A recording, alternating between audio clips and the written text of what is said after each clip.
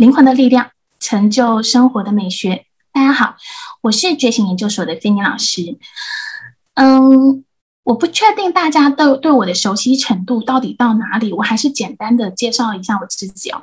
与其说我是一个，我算是一个有灵媒通灵体质的一个占卜师，但是与其说我是一个占卜师，那现在的我，嗯，近近一年。两年以来哦，我的工作绝大部分我是占卜师和通灵师们的老师，所以嗯嗯，大家有看到觉醒研究所一直会出新很多新的老师，以及嗯，或者是从我们觉醒研究所出去成为全职的占卜师，以及从业从事灵性行业的人走上自己灵魂使命，那很多都是呃，这个是我的指导灵，我的灵魂道道路，我的。高我所给赋予我的这样一个使命，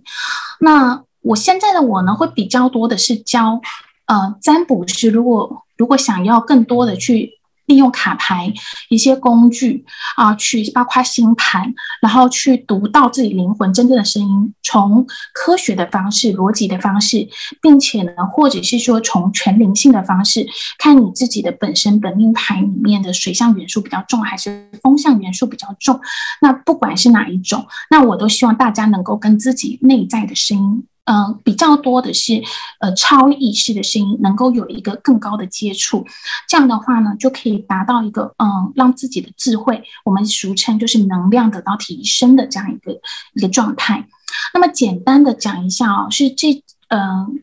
觉醒是件怎么样的一回事情呢？其实我在一开始跟大家一样，非常的懵懂。我是一个啊外商的一个呃嗯外商公司一个主管，收入还算不错。可是我总是觉得我好像得了什么病啊，外在就是非常的安逸，但是我的内在呢却。呃，就是非就是别人眼中非常好，我的月入可能是数十万这么多，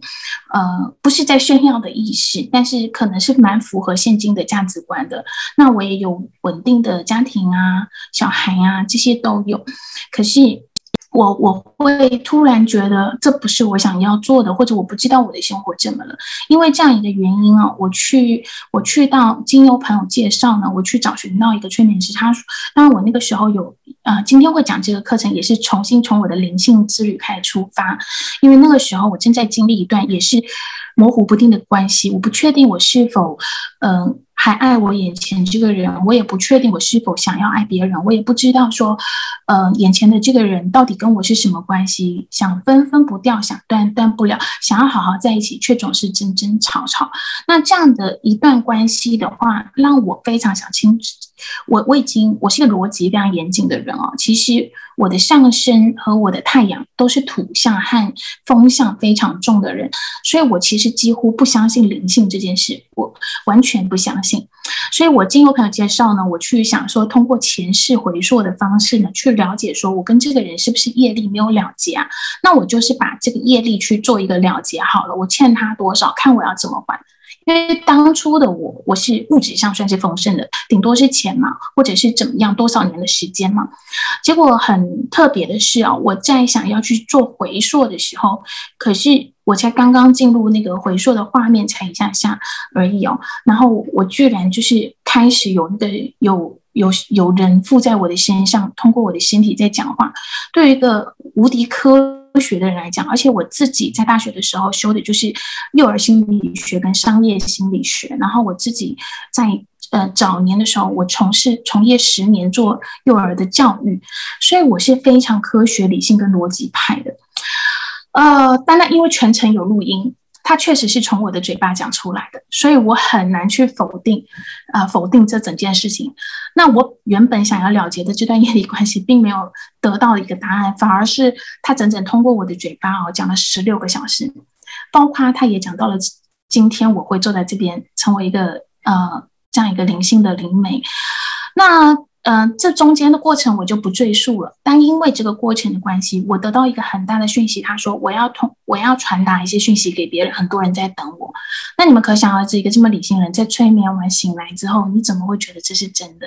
啊？所以我在接下来三个月没有去理会这件事情哦。那但是就就从紧接着奇迹就发生了，从世界各地不断的有人突然会跟我聊心事。那在这过程中，他们就说我可以跟你通话吗？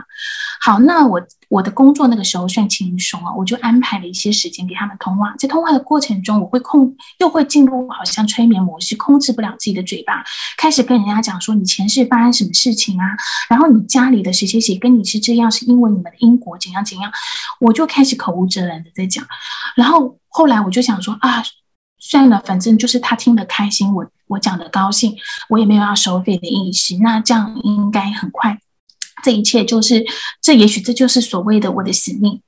啊。那在这个情况之下呢，可是因可是过了大概几周几个月之后，他们就得到了一个呃方向，然后确实有一个回应的时候，越来越多的人找到我。那我曾经因为我还要工作，我一年的智商量有到三百多位，就是以一个业余的人来讲，而且我相信这很多占卜师都做不到，因为。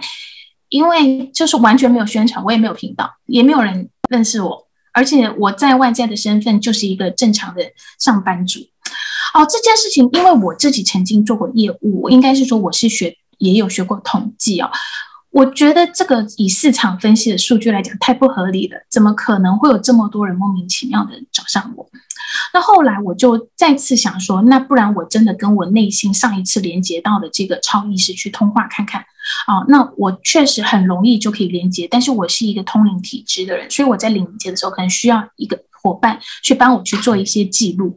那在这个整个记录的过程中，他就给了我下一步，他就说你的主要的使命哦，是去传达灵魂的声音哦。这传达灵魂声音，不见得是我自己灵魂的声音，是他人灵魂的声音，所以。所以，其实我在不知不觉跟别人讲话的时候，其实会讲出他灵魂要他做什么，或者传达这样一个讯息。可是这实在太耗时了好！然后结果我的，也就是说，因为他要先讲他的状况，所以我光听他讲完状况，我可能需要花两三个小时的时间，然后我才能传达灵魂的心。所以这之后呢，呃，我的指导灵就教我说，你可以读取牌卡的画面，然后以及讯息。那接下来我就用这种方式去，这样呢。我我会跟我的个案说，我说你先听我讲讲看，他想要传达给你的讯息啊，如果有回应呢，我们就继续说下去。你先不用跟我说你现在什么情况，所以我会通过排卡呢，告诉他说你的你的这样一件结果呢。当然，这个是概率是夸张到几乎是百分之一百，从来没有人跟我说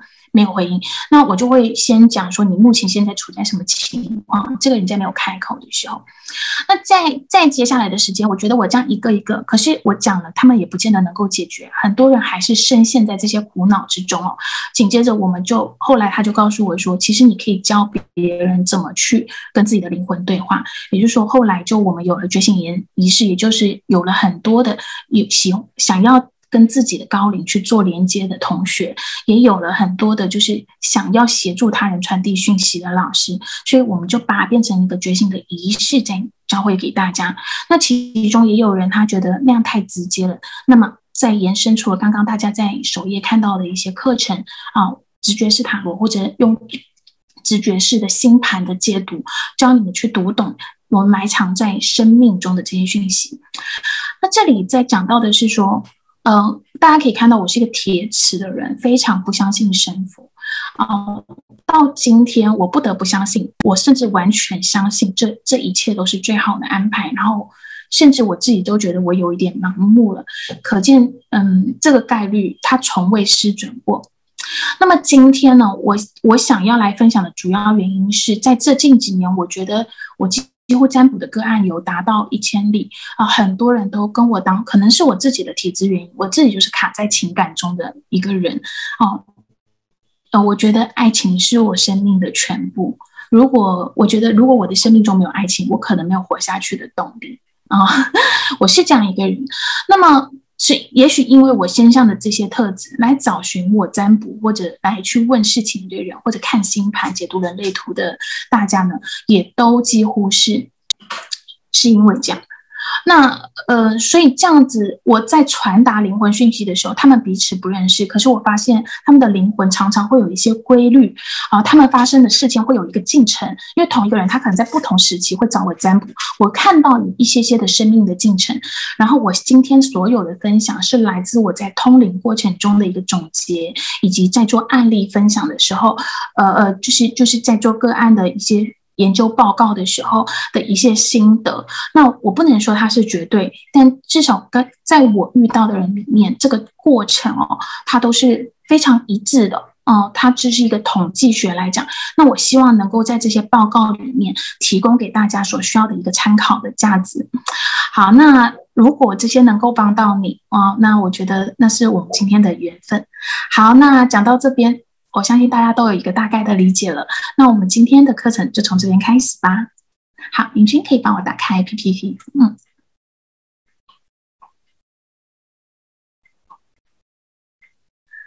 好好，先我们进入到第一页哦。那我们嗯，好，先帮我直接往下好了。嗯。首先呢，我要说一下，在我自己占卜的经验里面哦，就是我在通灵的经验里面，我们主要嗯，几乎我们陷入感情的一个状况的时候的一个。呃，主要我这边做了一个大类，当然如果以细细嗯细分来讲，可能会更细。我这里先分为俗称的业力伴侣，然后灵魂伴侣和上双生火焰。那我所说这里，我先讲一下业力伴侣，可能跟大家的理解不太一样。这不是一种，嗯嗯，就光是情感上的纠葛，它比较像是，嗯，这个是跟轮回跟前世有关系，就是你前世可能有伤害别人，这个。这种伤害它包含就是欺骗，这个欺骗里面可能涉及到，嗯，对方因为你而造成家破人亡的事件，那这个是这个这种是一定触犯到了业力法则的，这种是一定触犯到了业力法则的啊。那也就是说，对方今生化身成你的伴侣，他不是真的要来爱你，他只是以一个身份可以来跟你讨债。所以讲到这边的时候，有一点点宿命论哦。可是我发现会有这个情况，我只是拿这样一个统计的数字来去跟大家做这样一个分享哦。嗯，就是在在整个过程中呢，也就是说你前世欠了他的钱，或者你害他，然后呃，比如说这里面我们大概简单提一下业力法则。业力法则其实就两种，没有尊重到他人的自由意志，有一种是物理形态的不尊重，第二种是。嗯，第二种是意识形态的不尊重，物理形态就是你把这个人囚禁了啊，别人要去做什么，你限制人家的行动了，或者当然你剥夺了人家的生命了，或者害人家变残疾，或者你给人家的一些呃讯息，然后强迫别人去接受了，那这样子造成了一个对方的一个身体的残缺，或者物质的问题，或者是一个一个家破人亡的一个结果。那这种情况的话，他今生会想来找你讨要。他所以，他投胎的主要目的就是要跟你讨回这么一笔。那讨回这么一笔的话，也就是说，呃，伴侣这个这个身份哦，其实是他扮演的一个角色而已。大家到这边能理解吗？好，所以伴侣这个他不是来爱你的，他是借由爱这段关系，然后可以跟你进行拉扯，也让你得到他当初相同的感受。那如果你当初是让他有这个家破人亡感呢，他也是要达成这个感觉，或者你有剥夺他的生命啊，他今生也要来剥夺你，或者你有让他残缺残疾啊，他也是要这样，或者是说，呃，你呃，你你你曾经虐待他啊，他也是要来讲，这个其实蛮有那个因果报应论的。好，这种都不多啊，其实蛮少的啊，不多，大部分的来找我占卜的个案或职场个案里面。讲到这种事情的时候，反而是他们很想去帮助他们的朋友啊，他们很想去嗯帮助家人，就是家人会遇到这个事情，那往往其实我们是帮不了的。就像冤有头，债有主，有些道家的法门里面在讲说啊，这个人他就是灵魂拿着令旗来讨债了。其实我们去嗯嗯，这个很矛盾，就是。在业力伴侣本身进入这个环境，通常他不可能还有这个闲情逸致来看这种灵性来提升这种灵性，他们会去找公庙的可能性会比较多，而且因为当事人深陷业力之中，他是被讨要的那一个，所以他通常也不会也没有办法看清楚真相，你就别旁人就觉得说，哎，这个人，这个人就是明明就是就是对你不好，要其实他就是不爱你。可是，在陷入这个业力关系的这个人哦，他是看不出来的，他是他的眼睛是被遮罩住的。啊，所以本身业力已经处在这个关系里的人，他们会能够有能力来到，然后并且来寻求协助跟寻求帮忙的，我觉得。除非他前世真的是烧高香，然后就是他指导灵团队非常强烈，不然这个人的小我是被蒙蔽的，其实蛮难的。好，等下我会具体说到他的一些症状，所以大家理解这个业力伴侣跟我们跟我平时在讲的一个业力伴侣可能不太一样。那么灵魂伴侣，灵魂伴侣呢，他是嗯，在这边在讲说，我们一见面就会有一种熟悉感，收美。好，所以所以好像。就会让你为什么纠葛？是我想放放不掉，因为这个人身上有我所熟悉的一些东西，我好像好像好像好像你说要放嘛，我又觉得我好像可以跟他一辈子。可是你说不放，我又觉得我每天跟他处在一起好像不是那么开心。所以在这边的时候，嗯，他在讲到一个，嗯，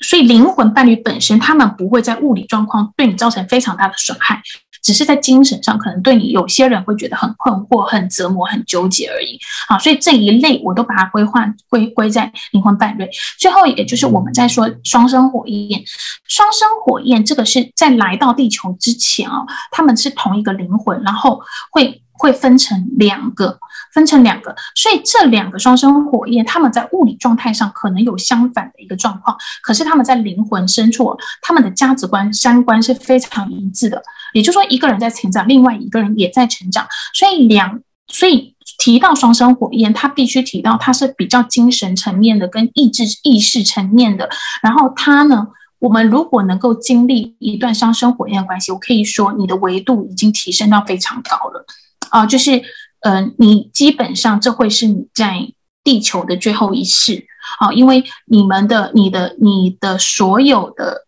呃，嗯，需求基本上不是物质可以满足你的。好，好，那这个就是前面的一个简单的一个介绍。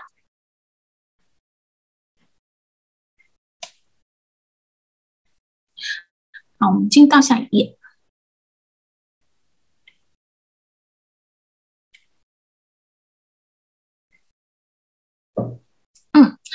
好，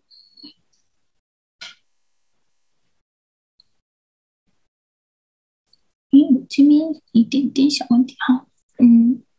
好，OK，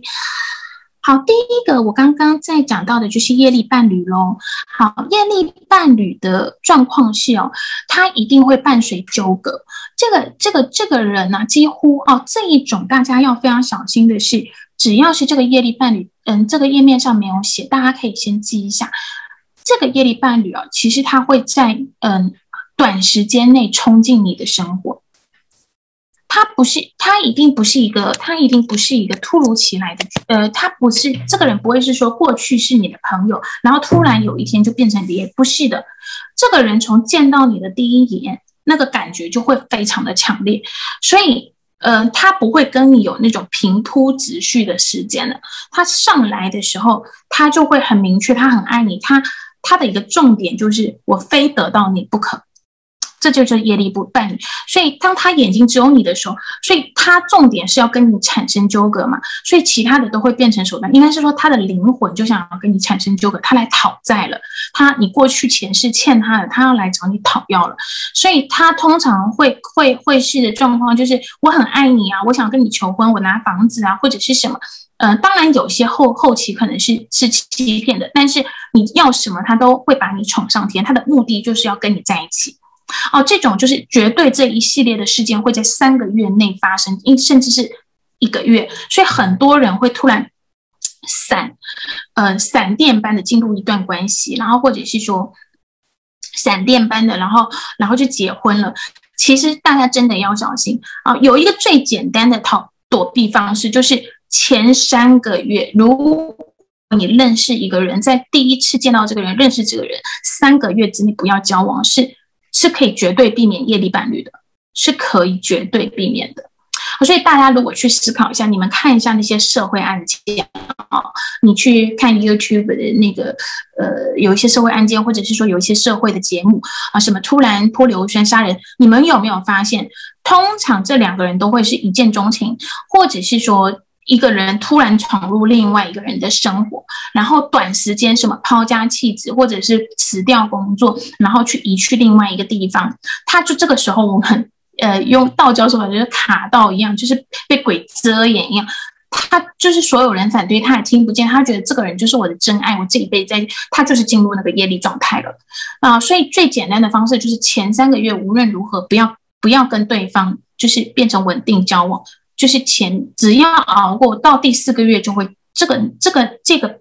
遮遮蔽你真相的这个能量哦，通常就只有三个月。到了第四个月，好像那个那个云云就会散开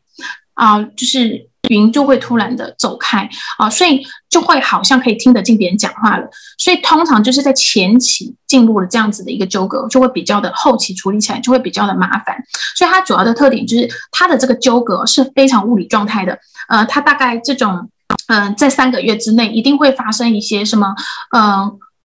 要不就是你为了他，要不就是他为了你，什么离职啊、搬迁啊、破费啊，啊，好像两个人去做一个生意啊，然后突然就会破财啊，他们一定会造成你物质生活上的一些动荡与不安，而且这个动荡不安，然后你就会变成有因果，你你既你也没有办法离开他，因为变成说我会这么做都是因为你啊，然后然后或者是说，呃，我都已经为你牺牲了这么多，我我我就是爱你，所以我才去。呃，才去做一些坏的事情。我就是因为啊爱你，所以所以我才去我才去离了职。那我现在要怎么办？这些绑这些勒索型的，而且它是实实在在的发生在物理状态的，不是不只是口头，就是他就是要来跟你一起住，或者你就是得跟他在一起，会一定会发生这样子一个肢体上的实际上的一个纠葛的。好，那么，呃，在别人眼中都非常突如其来，然后可能大家就会去议论这种事情啊，这个是当事人无法逃离，而且在别人眼里都是不理性的行动，可是，在当时他是非常会合理的。那还有一种办法可以逃，如果你这个时候去念经，然后如果这个时候愿意打坐，然后愿意修行，然后愿意去请去进行心理智商治疗。如果他只要能保持持续的去持续的去跟跟嗯，或者是说上灵性课程，或者是说去去去找心理医生都可以啊。他只要能持续的去去厘清自己的思想的话，这个能量可以冲破那个业力的纠葛的啊。但是，可是当事人呢，大家觉得真的是不多，没有成功的案例啊。所以，呃，我只能跟大家说，如果大家想要避免这个。这个讨债的状况啊，避免这个情况的话，呃，最好的方式就是前面不要有冲动的交往关系啊，可以忍耐个三个月，彼此保持好感啊，暧昧又是为什么不能等一下呢？我为什么不行呢？好，所以如果我会进入这种纠葛，他脑海里就有一种不行，我我我我今天不跟他在一起，我就错过了。我绝对不能等，他们会有这样的一个声音在他们的脑海里面，所以现在还冷静，大家你想想看，你你只是跟他晚一点交往啊，呃，晚一点先观察，你才刚认识一个人，给他三个月的时间，真的很难吗？其实没有到那么难，对不对？所以如果要保护自己的话，这是一个方法。好，那我们进入到第二种关系啊，呃，灵魂伴侣关系，通常他的关系就会比较久一点。嗯，好，帮我帮我打下一页。好，那我们来讲到灵魂伴侣关系。灵魂伴侣的关系其实是有两种的。好，我们来说到第一类，但是我所有的灵魂伴侣关系它会比较长哦，它通常的纠葛时间到三到七年这样一个纠葛的时间哦，所以你嗯嗯，其实我们讲灵魂伴侣有没有业力？有，所以我我我会把这种业力称之为你们前世的约定啊，你们前因为。其实，所以不管发生什么事，其实这不见得是真正意义上的是一个不好不好的，因为对你的生命成长跟灵魂成长，它其实是是它其实是有注意的，呃，应该说呃，注意的意思是有帮助的。那它嗯，通常它会三到七年的一个时间，就算嗯，通常七年就会走完啊。然后然后灵魂伴侣是因为我们前世有约定，前世有去契约，所以今生他来扮演这样一个角色。好，那么灵魂伴侣为什么会分两类？等一下我来做一个总结哦。因为第一类的话，它是因为它其实啊，灵魂伴侣他为什么跟我们做这样一个契约？他的契约就是让你能够知道真相的一个约定。我们彼此协助对方成长，好，你能够得到，你最后能够看清楚你自己前进的方向。第二，然后他也能在这段关系里面看清楚他的一个前进方向。嗯。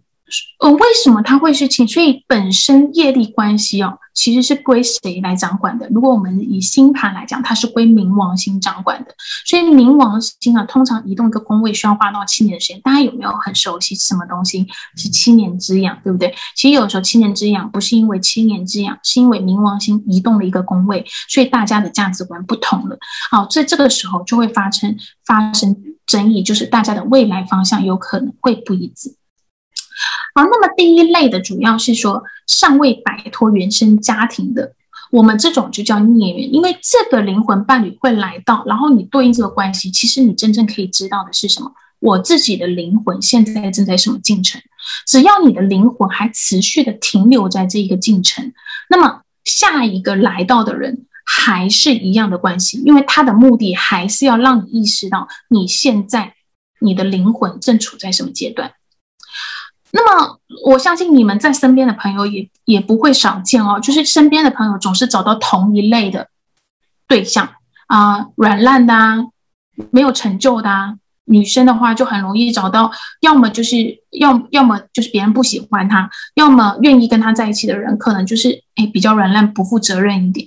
然后那有的时候如果是男生的话，可能哎莫名其妙被分手或者是怎么样，哦。无端端的两个人就没有下下文了，所以这些情况呢，其实它都属于这第一类，尚未摆脱原生家庭，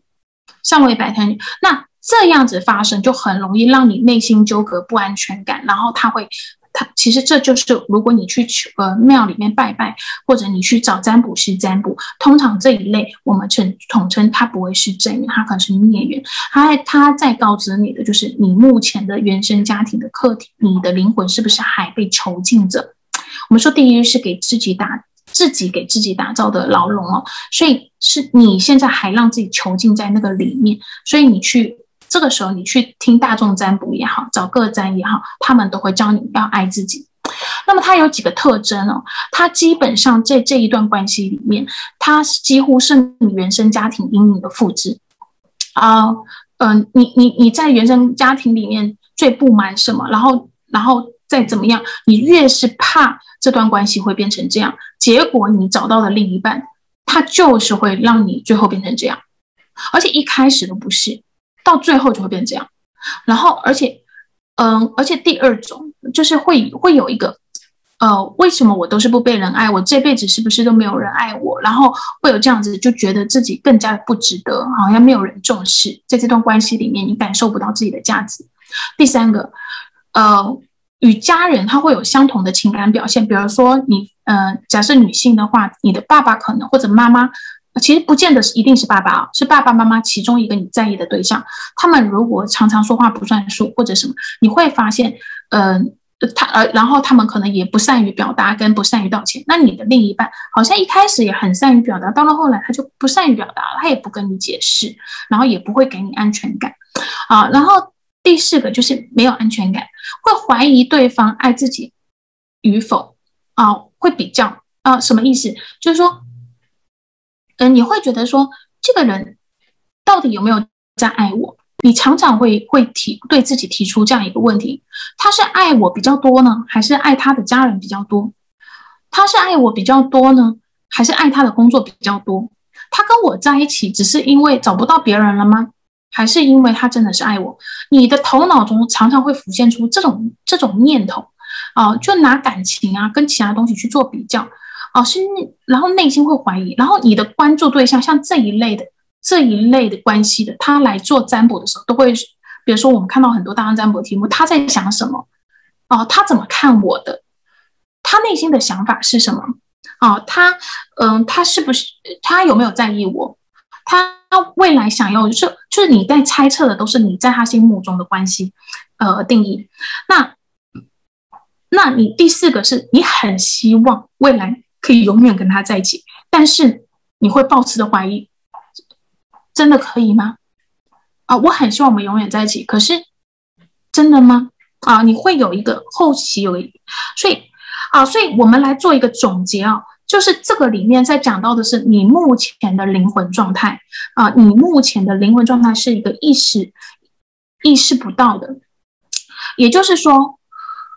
他的他这个伴侣这一段我们俗称的孽缘这一段灵魂契约的主要目的是要让你看清一个真相。也就是说，你跟这个人签订的契约是，他要让你见到一个真相，而这个真相就是意识到这不是我要的。你必须要离开原生家庭阴影带给你的伤害。你不是去改变他们，不是我妈妈有一天会变成很爱我，我爸爸有一天会同理我，或者我的家人有总有一天会知道我有需要珍惜我。这个就是就是非常典型的你。因为你被困在你的原生家庭了，你还希望去去通过你自己去改变他人的想法，哦，这个时候冥王星的这个伴侣，就是灵魂的这个伴侣，他跟你签订的契约，就是让你意识到说，我不要去改变别人了，我不要花我的人生跟时间去去向向他们证明我值得被爱，啊，嗯，所以所以如果你自己想想看啊，如果如除非非常的执迷不悟，通常我们大概这样子一段关系、一段情商，其实受一次就够了。一个走一个七年，通常下一次的人他就有一种解脱感。所以冥王星是一个不看到真相不会放手的一个星啊。那如果你的星盘里冥王星非常重，其实你就会属于这种人。那没，我觉得没有关系。那你可以去审视我现在的状态。所以他唯一要带来的真相就是你要离开吗？哦，即使你今天你的父母他的表现可能不是如你预期的这样子的，这种行为的在乎，那你还要爱他们吗？好，所以他最后所要达到的目的就是你要离开这段原生家庭所带给你的关系。如果那我们来到我们生命中，如果持续是这样的对象，你只需要去审视说，我自己的灵魂现在处在这个阶段，那我的灵魂要怎么可以走出来？这时候很适合去做，呃。我还是去建议说自己去探索一些灵性啊，你们也可以学习一些卡牌啊啊，然后或者是说与自己内心的超意识去做一些对话，这个时候都会告诉你们说你们该怎么做啊，那你就可以从这个阶段走到下一个阶段。所以呃，有些人一出生会有经历这个阶段，有些人一上一世就已经有经历这个阶段了，所以他不会再与跟他有这一类约定的人遇到，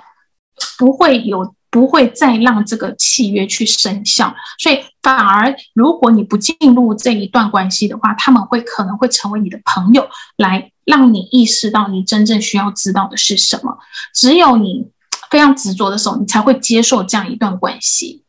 好，那。彼此也会有相同的课题，我不知道大家有没有听懂。等一下可以提问啊，如果有疑问，可以现在先打在留言区，然后我等下会来做一个解释。好，那第二类，好，那我们往下一页，我们进入到第二类。第二类呢，第二类是已经摆脱了原生家庭，就是上一个阶段已经过去了。我非常清楚，我做什么不是为了证明给我父母看了，那我做什么不是为了让他们相信有一天，呃，有一天会。会爱爱我了，我发我我发现就是我我已经不是这个样子了啊，所以这个时候你就会进入到呃下一页，下一页是什么？所以上一个上一个在讲的是我那些东西不是我要的，我要学会的是拒绝或从这段关系里离开。那第二个第二个段关系，第二段的灵魂契约，其实就像我们去月老那边筹到的红线，它其实当这段关系来临的时候。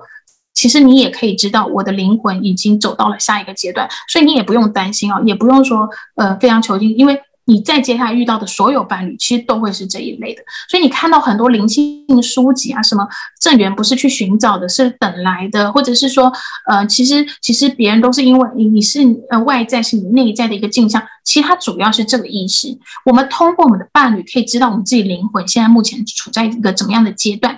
好，当然他还会通过很多其他的关系啦，在这里我们只只讨论伴侣关系。好，那首先呢，我们在讲到的是，呃，那这个这一段关系呢，这个人出现在你的生命中，有的时候反而会让你很想躲起来哦，很有压力，因为这个人你反而不是不见得，你会反而是你的问句都会是这样，嗯，他会常常问你，哎，你你未来想要什么啊？你你你你有没有想要跟我在一起啊？或者你的未来什么？他你反而跟他在一起有种捆绑感。为什么会有这种捆绑感？因为你觉得当你说出来以后，你就对得要对自己的承诺去负责。可是当你想要对承诺负责的时候，你开始不确定了。哎，这个承诺做下去，我真的要吗？因为你做下去，你这今生就要这么做了。可是这个时候你不确定了，为什么？你不确定这是不是你要的？你就已经进入到第二个阶段。那那他对象呢，会鼓励你和支持你选择的决定。可是你往往人生最困惑的是，我不知道该如何选择。啊哦，我觉得两个好像都是我要的，两个又好像不是我一定要的。所以你想要维持自由，而对方却迫使你一直做出决定。那第三个，感受到被逼迫，促使自己去表达或确定自己要的是什么。就在整段关系里面，你们始终会讨论。会或者始终要你决定一个未来，或者要要对他付出一些承诺啊，他会是有这样一个感觉。第再接下来啊，那然后你问的是我要不要跟这个人在一起，我适不适合这个人呢？好，再接下来呢，我们这就是你常见的问题，所以反而是走到第二类的阶段，他们问的问题会来做占卜的话，像这种我记得好像通常做一次。呃，后面他就会知道他要什么了。他不见得会，不管跟不跟这个伴侣在一起，他接下来的人生他都非常的清楚。啊，那呃，那你再接着说，我这样子答应了他，我会不会伤害到别人？啊，我可以给对方幸福吗？这也是你会常常问的问题。那接下来是啊，会在压力的情况下感受到对方的爱啊，要符合符合这个这个压力，应该是说。你常常很想逃离这个环境，可是你也觉得说这个人真的很爱我，我会不会离开了之后，我找不到下一个这么爱我的人？所以你的担心哦，反而是这一种的哦，就是啊，我我我我我我不能，就其实你很想做自己，可是你每次做自己的时候，就觉得说啊，可是其实他其实蛮爱我的耶，哦，那会有这种感觉。好，再接下来会是呃，产生想逃离的感觉，哦，太。就是对方对你太期待了啊，他就会觉得说你就是，呃，我觉得我们我们我们可以呀，有一个很美好的未来，然后怎么样？你你就会觉得，嗯，会会有一种不敢不敢去拒绝，然后会想要逃避这个成长，因为我。我如果答应你，我就要很努力。可是我不答应你，我还可以继续待在现在的这个状况下。所以他这里就有一种责任上的，会让你想逃离，因为对方的答案很确定。好，再接着呢，呃呃，你的思呃思考角度，应该这里面在讲的说，思考角度都是反过来，是比较第一类。他永远永远都是在在确认说，我我要什么，我自己要怎样啊？所以他就是第二类。那接着啊，嗯。你非常确定这个人是不会背叛你的，而且你从来不会怀疑对对方是爱你的，而且你从来不怀疑对方是否会伤害你。无论对方是从情感上和物理状态上，他都没有伤害过你。我可是你担心的是，我我会不会伤害到对方？你的问题反而是这样，我会不会伤害到对方？我可以做得到对方的期待吗？我可以吗？啊，你的问题是这样的。哦，所以主要的问题是对自己没信心。好，你看第一类跟第二类会不一样啊，所以这个就是你灵魂成长到下面，你有没有办法对自己想要的东西去负责、去承担？它考验的是一个责任感啊，这种一种对自己灵魂负责任的态度，去探索真相，找到自己真正要什么的一种态度。好，到这里大家听懂了。好，所以这个人来到你面前，他的跟你的契约是什么？比起上一个是让你拒绝掉你不要的东西的话。让你这这一段关系，他跟你的灵魂契约就是，他要鼓励你，推动你去追求自己要的，促使你去成长，不要停留在原地，让你变成一个 Plus 版本更好的自己，让你知道自己要什么。好，这是第二类。好，那我们进入到第三类，我讲的会不会太快？都听得懂吗？好好，那到第第第三类的状况啊，那这个我们。呃，双生火焰其实也是有有两类。那如果你今生是有双生火焰的情况，不是每个人都有啊。但是如果有的情况下，我们简单的说一下，因为嗯，这个我等下会放在提问里面去主要去做解释，因为不见得大家都进入这个历程。呃，第一类灵性还没有提升的双生火焰，什么叫灵性还没提升？候，你已经开始懵懵懂懂的想要知道我是谁，我来自哪里，我我我到底为什么会出现在这个地方，或者我到底在追求什么？我的灵魂的真正意义是什么？当这些问题比较哲学性的问题，嗯，然后你都找不到答案的时候，通常就是其实你可能在这个世界上会有一个双生火焰的可能性，因为。当他进入到你的生命舞台的时候，你的灵性觉知最起码到了这里了。哦，如果你的灵性觉知还没到这边的时候，他不会进入到你生命，因为双生火焰它是就像一面镜子，当你离自己越远的时候，这个人他也他也不会出现在你生活圈，因为他就像你的一个实体版的分身。啊，你离自己很远，那他就会离你很远。当你开始试图了解自己，这个人就开始出现在你的生命里。那么他会有的反，第一个开始会有第一类的反应是会感到反反感的，啊，否决对方是自己喜欢的类型或感，因为你从来不了解你自己，你的外在呢是这个这个这个世界赋予你的定义，你的家人赋予你的定义，其实你真正不知道你的灵魂要什么的时候，所以当有一个人出现，他是完全否定否定你的家人给你的定义的，你的呃，因为。双生火焰的物理状态通常是是相反的哦，所以它也叫双生火焰。你们的灵魂是同一个，可是你们的物理状态相反的。看一动一静啊，然后一个话多，可能一个话少，可能是这样。就是它会有很多的状态，一个可能从小在安逸的呃环境长大，一个就会嗯从从小在一个非常颠沛流离的传。长大，而且双生火焰多数都不会出生在同一个地区，所以你会发现很多双生火焰，他们都会都会是跨国的感觉，而且这也很非常的符合我们在在在星盘里面讲到的九宫的能量会很强，所以灵性能够进程到这边的人不见得很多，因为你会发现你在你的星盘里面九宫的能量会很强，然后哲学性木星的能量会很强的时候，啊，这样的人他比较容易有双生火焰，好，然后另外呢，他再接下来。既然这个人不是你喜欢的，不是你的类型，所以即使他出现在你的生命中，你你不会不会意识到他哦，你会觉得哦，那就是我之前的一个同事啊，哦，那就是我小学的一个同学啊，那就是我高中的同，所以你们嗯对他的。对他的一些称呼和既定的定义都会是这一类的啊，然后或者是说我在办一个活动的时候遇到的一个人啊，就这样，然后你平时也不会跟他联络，然后紧接着随着你的探索越来越多，会进入到你的生活圈，我刚刚讲就会有一个有一个有一个保持距离的感觉哦，随着你们的嗯你们的这样一个嗯互动呃，就是你们自我探索的越来越多，有一天这个人可能又会因为 case。一个什么事件突然进入到你的生活，他可能以前是什么五年前认识的人，三年前认识，所以双生火都会有这么一个过程的，因为它代表着你与自己的距离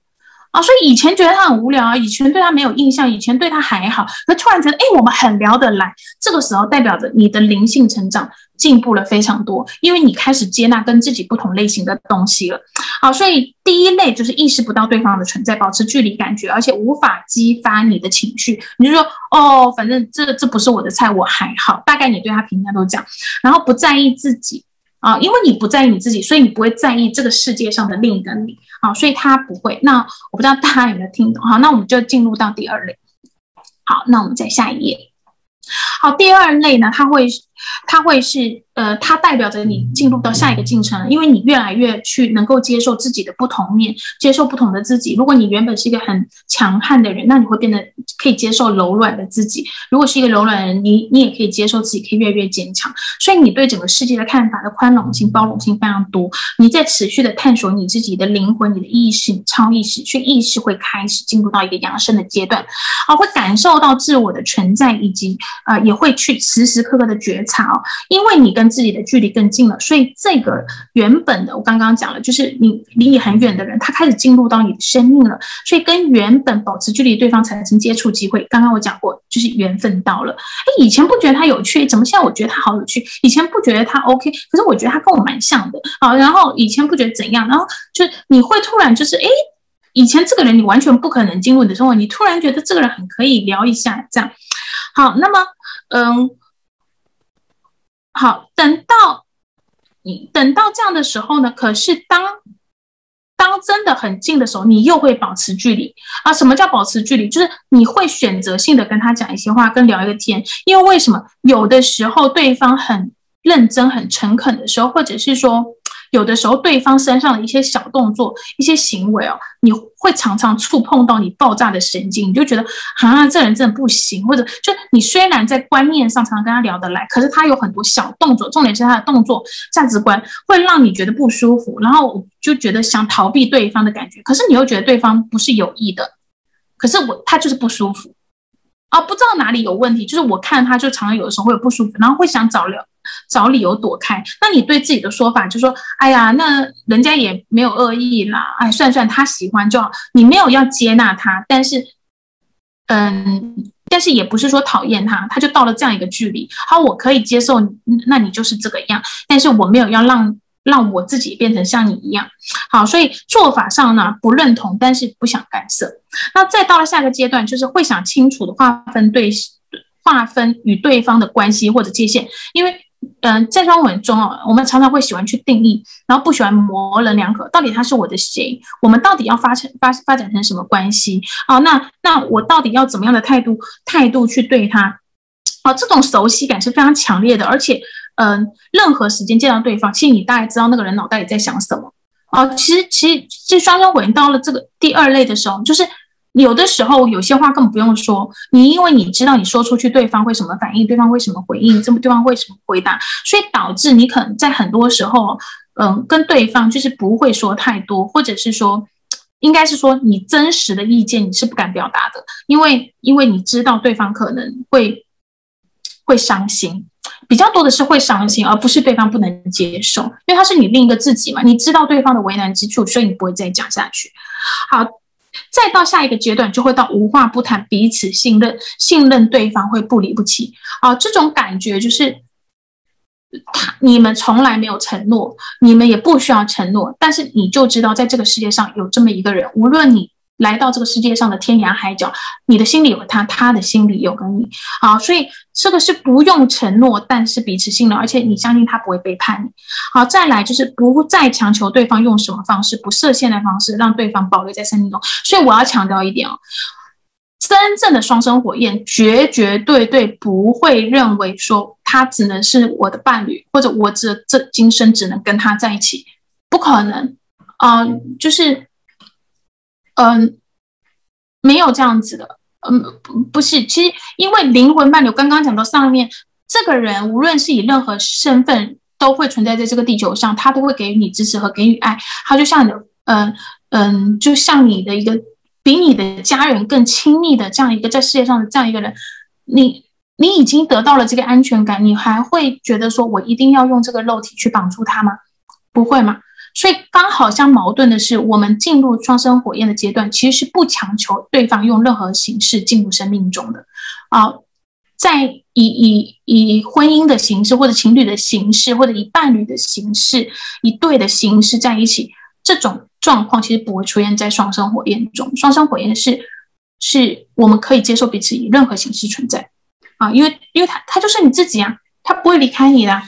啊所以你灵性高度到了这边，你你的那种信任感是不需要强求的。好，找对方会不需要任何的理由，而且我彼彼此就会知道，所以这就是说，生命之中不会因为任何关系、任何的状况而分割。这种安全感是是来自你的灵魂啊。这个时候就是认出了彼此的时候。好，那主要的话，我这边的关系会分为这几类。好，那我们不知道大家有没有听懂？好，接下来我会。嗯，想留一些时间给到大家。那来到这边，那目前大家有没有遇到以上的三种类型的哪一种呢？啊，如果想要分享，就是请帮我在留言处。好好，各位哈，好各位，就是借由大家的问题，顺便来分享，让大家知道。我不知道大今天的课程有没有能够带给大家一些定义，然后这是。我的一些占卜经验和通灵经验的一些通过别人灵魂传达讯息的一些经验和总结，我希望能够帮助到大家。那如果大家在私下里还有更具体的东西想起来，刚刚在课程中没有问，好，可以通过那个，如果只是打字的话，我每每周是没有限额的，你们可以去通过那个云君，然后嗯。那个，或者是就到脸书去敲小编，跟他跟索要我的那个联络方式。但如果是电话咨商的话，可能就会一周只有七位。那但是也排一排，我还是可以排得开的。就是我希望就是能够厘清的话，厘清的话，那么就可以先帮助到大家，大家不用混乱在里面一直求神问卜了，好吗？好，那呃，我接下来可能要跟大家讲一下，就是哎，林君那个下。嗯，下一场就是我们 Miko 老师的一个一个一个讲座喽。好，这边我反蛮推荐的。他在讲到的是一个言灵哦，嗯，这件事情绝对会制造一些业障，或者是说制造一个好的能量跟高的能量。大家刚刚讲如何遇到灵魂伴侣，如何遇到正缘，如何让我们的正缘走下去。其实这里面其实跟我们平时的言语、言灵跟各给他人的言灵都有关系。所以我觉得大家去上这堂课非常有用，因为它。基本上是一个我们平时就可以应用的魔法了，很有用。他会讲到我们对他人的魔法，以及他人会对我们形成的魔法，要怎么去拒绝，要怎么讲。好，所以呃，我我非常推荐 Miko 老师这些魔法系列的讲座，大家赶快去报名哦。好，那今天的讲座到这边，那希望大家能够喜欢。那呃，我未来可能还会。有一些讲座，如果大家有想要听飞鸟老师讲的题材的话，也可以留言给觉那个觉醒研究所的小编，好吗？好，那今天到这里，祝大家晚安。